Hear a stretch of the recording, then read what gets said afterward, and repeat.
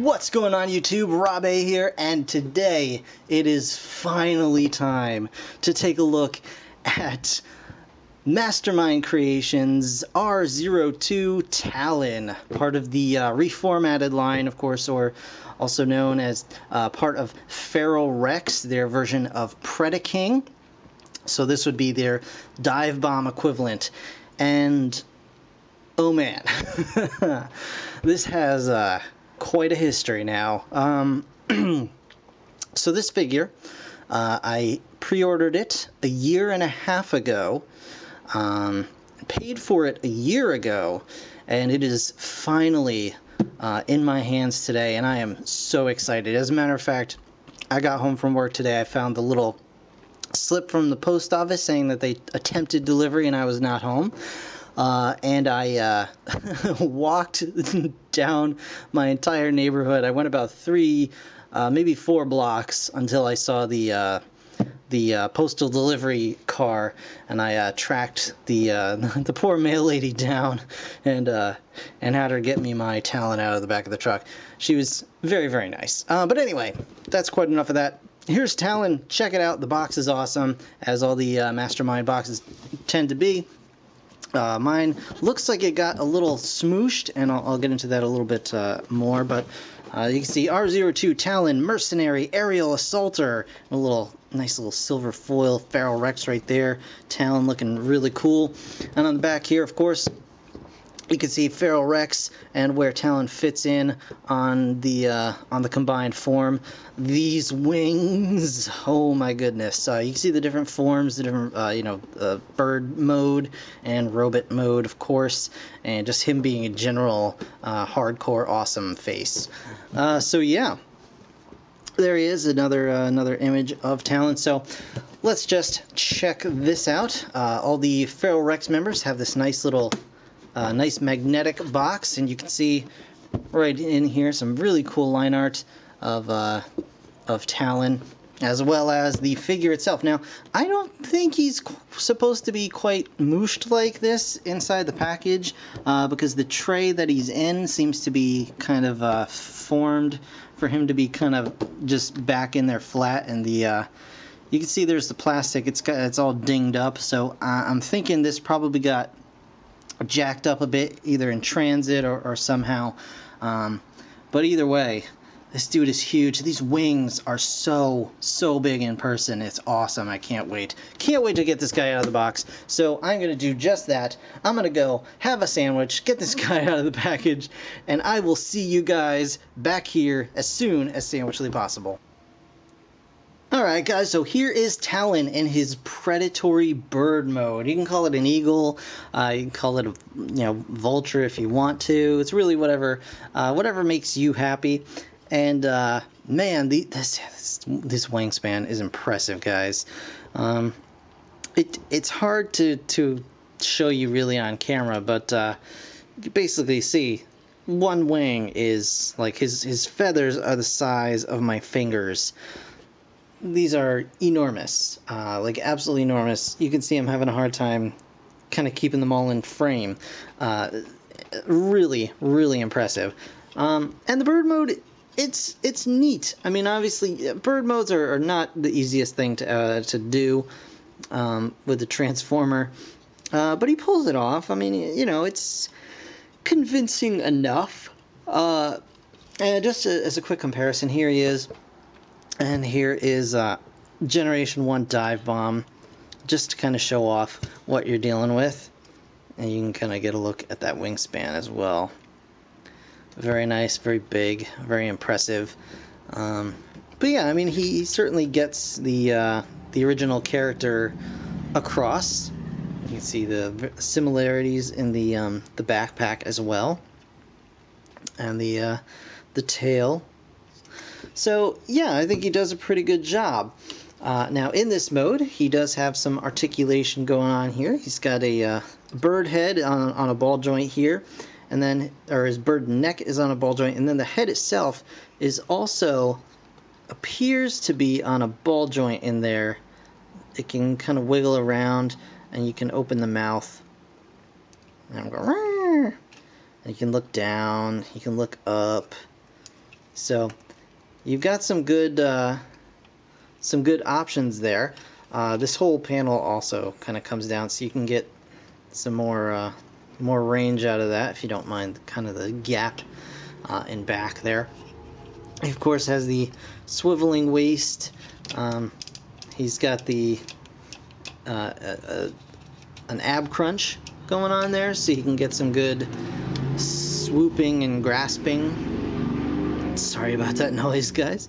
Some swooping and grasping. His talons are articulated also, uh, so he can grab onto stuff like that, like that. You see, you see? And then his wings themselves, they go up, they can go down. Uh, the feathers can collapse like so and go down like that. They can go in. Uh, they can go in a full, you know, straight down, but the uh, the arm is in the way. But they can go back like so. So a lot of nice posability. You get some. Uh, you can flap the tail or wiggle it around if you want to to kind of get you know steering for his flight. Uh, now let's pop the wings off for a moment here. There we go. Here is the wing pack. Very, very cool. And uh, one thing you can do with this uh, is you can take your buddy Leodux over here, and uh, you can see he's got some a hole and some peg holes there. You can pop this uh, backpack on him and make a crazy winged Leo Leodux super flying robot lion man.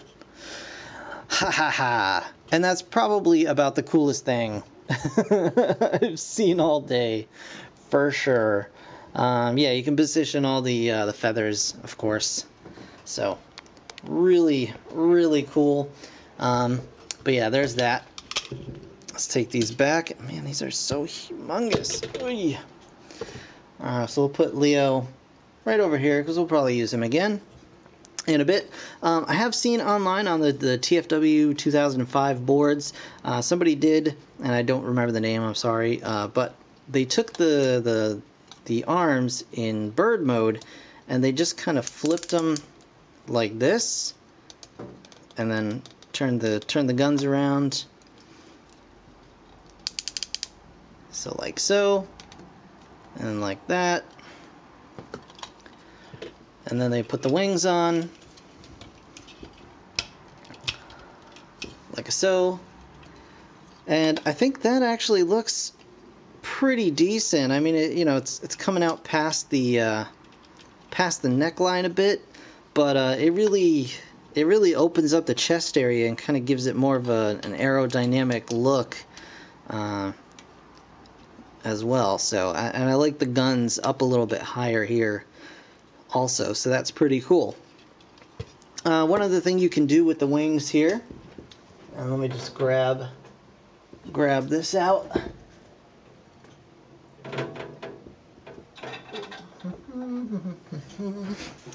You've got the parts here for uh, Feral Rex's sword, and you can take the uh, these bits that were on uh, Leodux's uh, uh lion chest that don't really have any place to go.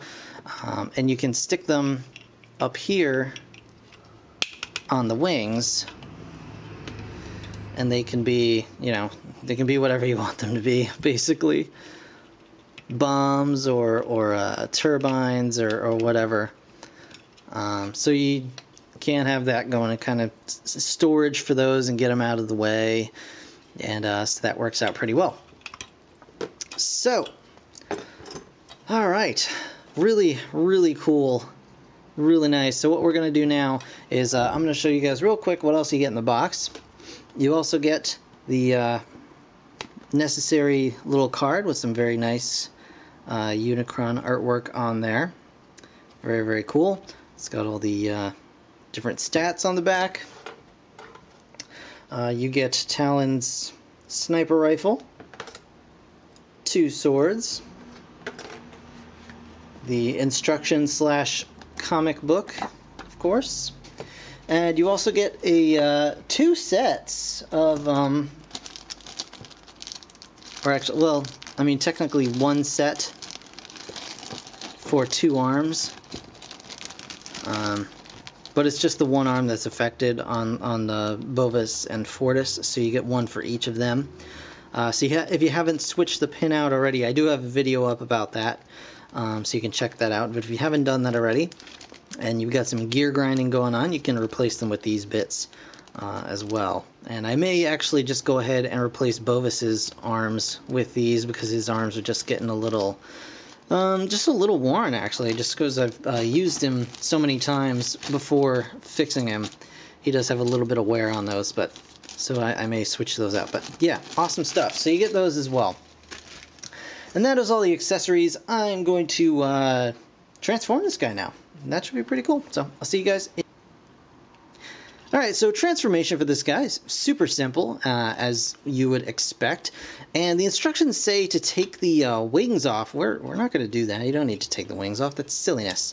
Um, but basically what you want to do is from your starting position here, the regular thing, what you want to do is pull the arms out like so. They just tab in up here for bird mode. Flip his hands out. Come on, hands. There we go. Uh, the legs, you want to just rotate around at the waist here. Open up these panels. Flip his legs down. Flip his bird feet down, and then his uh, first and third claw go up, and the middle, uh, the the the back claw goes down, like so.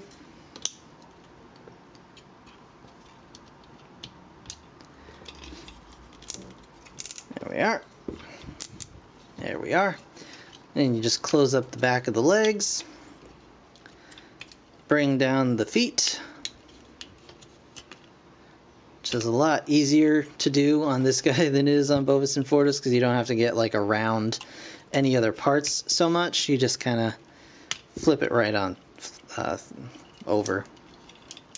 Just like so.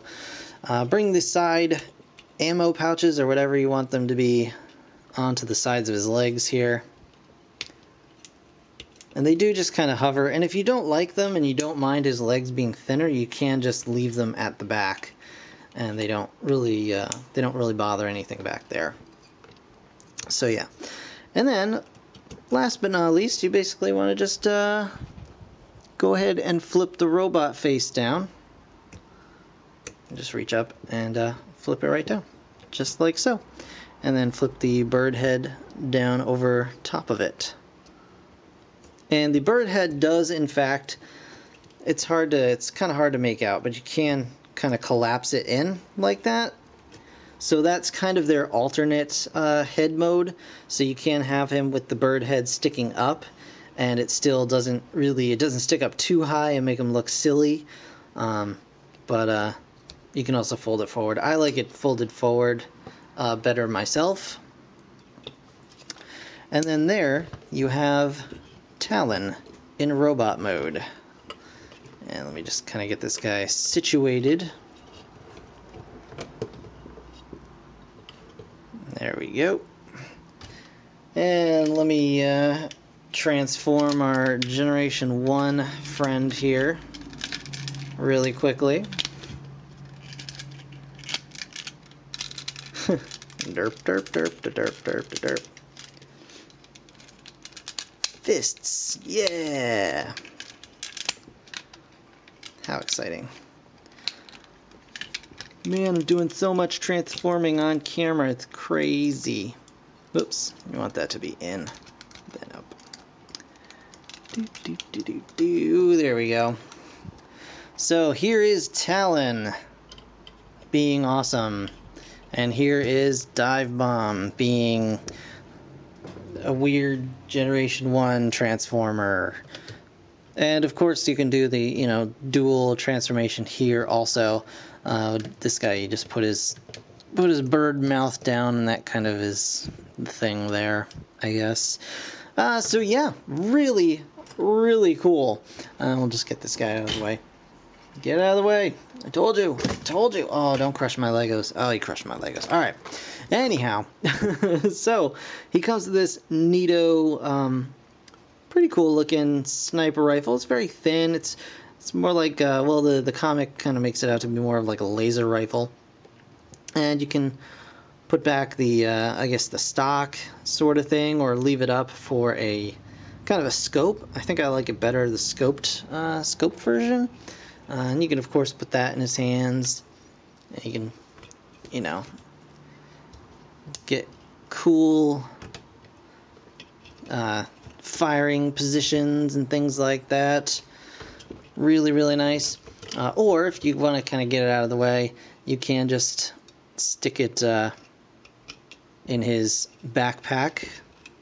However, you know, however you see fit stick it down here like that just to get it out of the way and then it's out of the way. And he also comes with these two swords which are much easier this time around to get into the hands. You just kind of pop them in and whoop just gotta make make way for the fingers there. Yep pop them in. Pop it in just like so. And he's got the uh, swords going on as well. Uh, just give you guys a close-up of the face. Here it is, and it's a little hard to see, uh, but his eyes are the bright metallic, and they do uh, they do shine apart from the face itself, and they, they definitely stick out. They look good. Uh, I think they look. I think his face looks really really cool. Uh, and of course, you can put his head down like that, and he can be brooding and dark or you know, whatever. uh, the only the one thing I don't like is I really wish these vents were painted black or gray or, or some color other than just the yellow that they left on there. And I know, like on the the original, it's like well in this case it's gold, but it's yellow. Uh, but I do wish that they had filled that in with something. But uh, you know, what are you going to do? Uh, also, these feet are light gray, and I, I, guess they were intended to be a darker gray or black, but uh, they didn't quite get that far, I guess, the factory or whatever. But they honestly, they don't look bad at all. The only kind of annoying thing is that they're the, like the only instance of this color on the figure, so you do get drawn to them for that reason. Uh, but otherwise, they really do just blend in with the rest of the of the figure. Uh, for articulation, you've seen the wings. He's still got all the wing articulation. That's amazing. Uh, his head is on a ball joint, of course. Um, he's got ratchety shoulders in and out going on there. He's got double jointed elbows. He's got wrist swivels. They can go in and out. Uh, he's got the ab crunch. He's got a double uh, double swivel waist, so you can get all kinds of swiveling going on with the waist there. Um, he's got ratchet hips, ratchet outward hips, uh, thigh swivel, knees, and his feet are on the ball joint stock and of course bend at the toe so you can get all kinds of motion out of that. Really, really nicely done all the way around.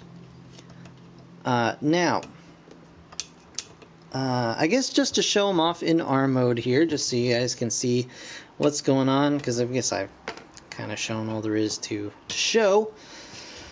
For arm mode, you do want to remove the wings Eh, eh, eh, and they do stick on there quite quite well, quite thoroughly. So for the arm mode, you want to go ahead, flip his robot head up again, pull his bird head up and out so you can get kind of that that thing going on. Uh, you just want to fold up his arms like you did for for uh, the bird mode. Basically, we're, we're transforming him out back. transforming him back. There we go. Get that locked in. Get that locked in, like so. You can stick the, you can kind of point the guns anywhere you like, and you can take them off, and you can even like plug them onto the wings if you'd like. They look pretty cool, I think, up there. So you can do that, or you can leave them sticking out on the, uh, sticking up or sticking out, or, or however you like. Um, you want to swing this around to the back here, and then you want to swing this up like so, and then uh, this I guess kind of we'll we'll take it as it goes, but uh, you want to fold the feet up like so. Fold the feet up. Basically, put them back into bird mode. This out. Hmm.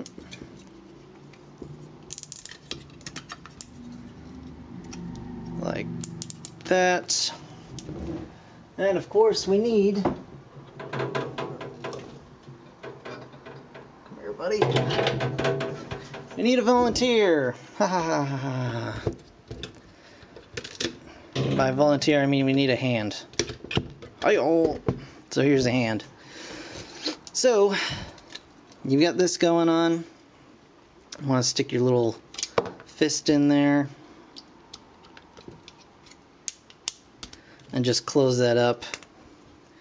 And uh, there you go. You've got him in arm mode, rather. And uh, the cool thing is, he does get a decent elbow because of this uh, this uh, ab crunch here. You do get the elbow and the legs, so you can get. It's not quite a 90 degree bend, but it's it's very nearly. Um, and you can, of course, get a little bit of elbow bend out of that. It's a little more uh, constricted than I would have liked, honestly, but uh, it does bend a fair bit, especially if you use the legs to your advantage as well. Um, these do fold back if you don't want them bothering the uh, the hand. So you can get those. Traditionally, this is meant to go on the inside of the uh, of the arm, as Talon is usually the uh, the left arm of Predaking and or Feral Rex. Uh, but I'll probably have this guy on the other side over here. Yeah, like so. And then just swivel this to the outside so he can have some sweet claws on the outsides of his arm. So, very, very cool. I'm super excited to have this guy nearly finished. So yeah, really, really cool, really awesome figure. Uh, I'm super happy to have him finally in hand, uh, and I feel he's worth the wait. Uh, which is which is really nice. It's nice to be able to say. I mean, there's a few nitpicks here and there. Obviously, there always will be, um, but really nice, solid figure. I'm super excited to have Feral Rex that much closer to being completed. Um, so yeah, overall, super happy. So thank you guys for watching. I really do appreciate it. Um, that's going to do it for this review. I want to uh, tell you to go ahead and like, comment, subscribe, all that good stuff. And uh, yeah, I'll see you guys in the next one. Bye.